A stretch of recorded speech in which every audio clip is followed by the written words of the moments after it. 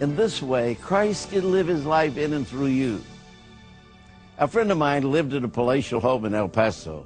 He was very successful, had accumulated considerable wealth, but once a week he would minister to the poor people in Juarez, Mexico. But there was this one woman who greatly ministered to him.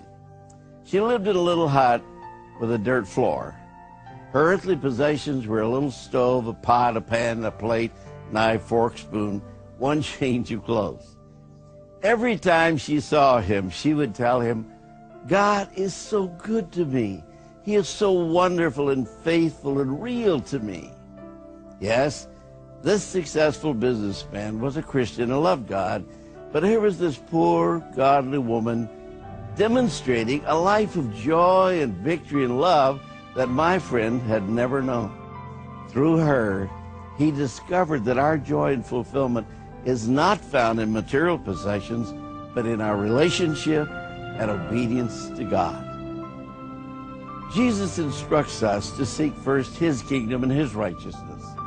As a result, we shall enjoy the rewards of righteous living and agree with King David. For surely, O Lord, you bless the righteous. You surround them with your favor as with a shield. So, um, we need to come up with some new ideas in the morning and uh, hash it out. What Well, no, I'm telling you, Jeff, we got to come up more hard sell. That's, I mean, you know, it's this Mr. Nice Guy stuff just does not, you know, cut it in the long run. Oh, I'm Mr. Nice Guy? Well, you know, I mean, I just, I want to come out both guns blazing, and I want you to, uh, kind of be there too, you know. Well, I'll be there.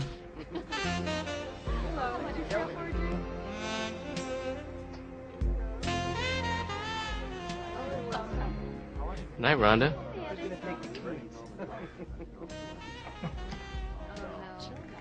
What is it? Night. What? She gave me her room number. Ooh. Ooh, buddy, you were a lucky man. No, I- I'm telling you, we're knocking her door, a little champagne. It's a hot time in the old town tonight. Help me, Rhonda. Yeah. Have you forgotten I'm a married man? So, what? What? What? You, you think your wife knows what happens 2,000 miles away from home? Oh, and this is how you would explain it to your wife, huh? For her? In a heartbeat. Oh, man. I gotta admit, I'm tempted. Yeah, just uh, make sure you tell me all about it tomorrow, okay? No, I can't. I can't. You know, our wives may not be able to see what's going on 2,000 miles away, but, uh, well, let's just say I know somebody who can. What, a little birdie? Your wife knows a psychic? What? No, no psychics. I'm talking about God. Oh, Jeffy, come on. Now, don't get religious on me. This is Rhonda. Nah, Steve, we're doing. You know he knows when we violate our word or, or hurt the people we love. Come on. You. You know there's consequences. They may not happen right away, but they're consequences. You know, I would have a great time in there tonight. Uh, yeah, I'd say. But you know it wouldn't last, right? Look, you can't just spit in the face of God and expect to get away with it. It doesn't work that way. Yeah, well, good for you. And you know what? I, I, I really hope you enjoy your lonely little room tonight. Don't you worry about me. I'm going to be fine. But remember something. There are benefits to doing the right thing, like a clear conscience and uh, maybe a good night's rest. See you tomorrow. I have a medical condition, all right? And next time I'm not picking up the check.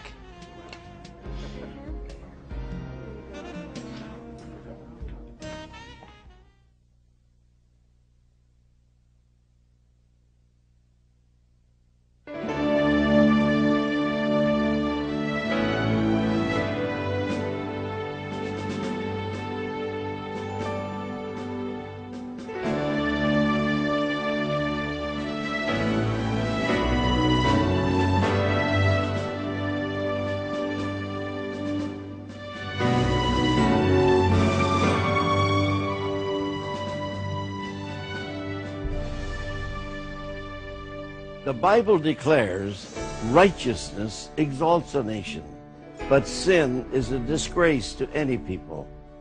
But what does that mean? We know that our God is a righteous God, and we understand that as disciples of the Lord Jesus Christ, we are to live righteous lives.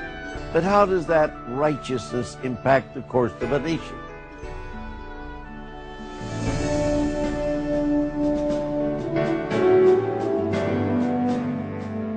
In the book of Deuteronomy, God promised to bless the nation of Israel for obedience.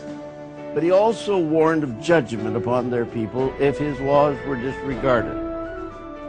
In Jeremiah chapter 18, verses 7 through 10, he speaks of a similar warning that could be applied to any nation. These scriptural principles were well understood by the pilgrims and the founders of our nation. Their purpose, as stated in the New England Charter, was to advance the enlargement of the Christian religion to the glory of God Almighty.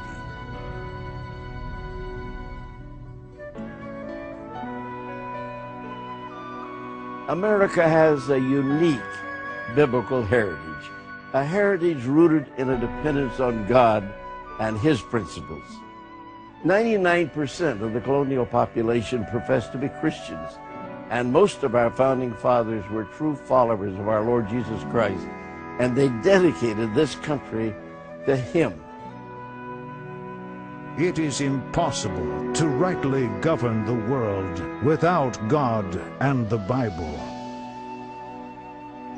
Gentlemen, our Constitution was made only for a moral and religious people. It is wholly inadequate to the government of any other. The Christian religion is the most important and one of the first things in which all children under a free government ought to be instructed. All of the first 100 or more early colleges and universities of our nation, including Harvard, Princeton, Dartmouth, Yale, William and Mary, Columbia, and others, were founded primarily to train young scholars in the knowledge of God and the Bible. Bible knowledge was regarded as the foundation of other branches of wisdom and understanding. Even a century later, Abraham Lincoln said, But for the Bible, we would not know right from wrong.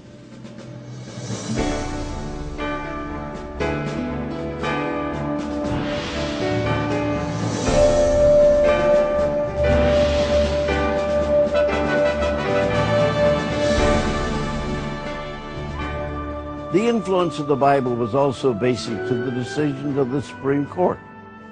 Providence has given to our people the choice of their rulers, and it is the duty, as well as the privilege and interest of our Christian nation, to select and prefer Christians for their rulers. The First Amendment was never intended to remove the influence of Christianity from government. It was rather a safeguard to make sure that government would never impose restrictions upon the free exercise of religion. John Quincy Adams, sixth President of the United States, supported this position. The highest glory of the American Revolution was this. It connected in one indissoluble bond the principles of civil government and the principles of Christianity. Even in 1892, the U.S. Supreme Court made the following ruling. No purpose of action against religion can be imputed to any legislation, state, or nation because this is a religious people. This is a Christian nation. That court ruling was based on 87 different historical precedents.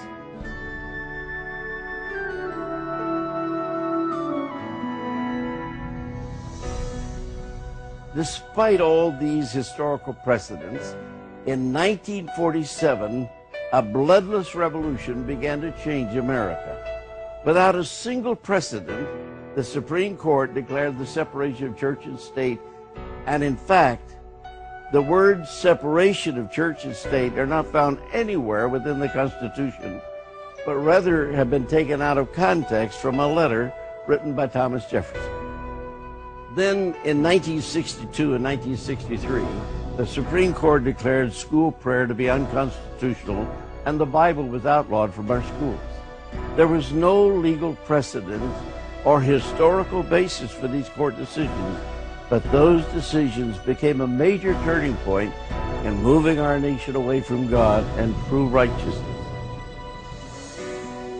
Soon afterwards, the Supreme Court legalized the murder of our unborn babies and made it unlawful to display the Ten Commandments in public schools. Reason and experience both forbid us to expect that national morality can prevail in exclusion of religious principle.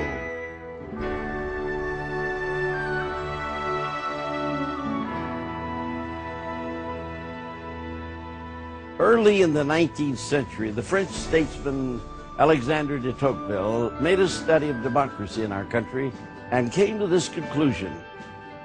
I sought for the greatness and genius of America in her commodious harbors and her ample rivers, and it was not there.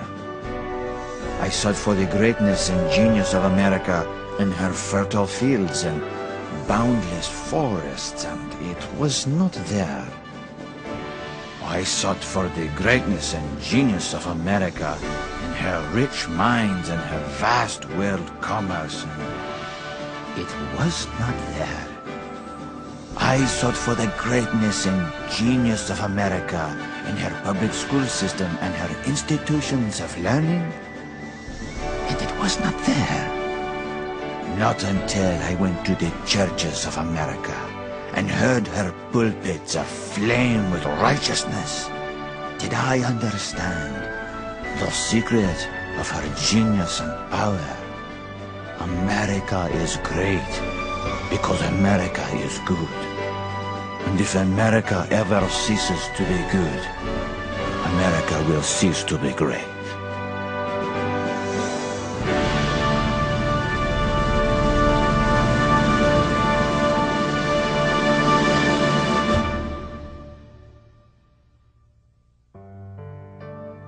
As a result of these infamous Supreme Court decisions, our society has plummeted into moral and spiritual bankruptcy. God's righteous foundation in America is being systematically destroyed. And as the foundation crumbles, so does the nation. It is obvious from every social indicator that the world system has failed. We as believers dare not continue to be silent. As Christians, we must hold fast to the righteous standards set forth by the sovereign ruler of the universe. Regardless of the beliefs and behavior of a nation, ultimately, every person will be held accountable by God according to his biblical standards. Whose standards will you follow? God's or man's?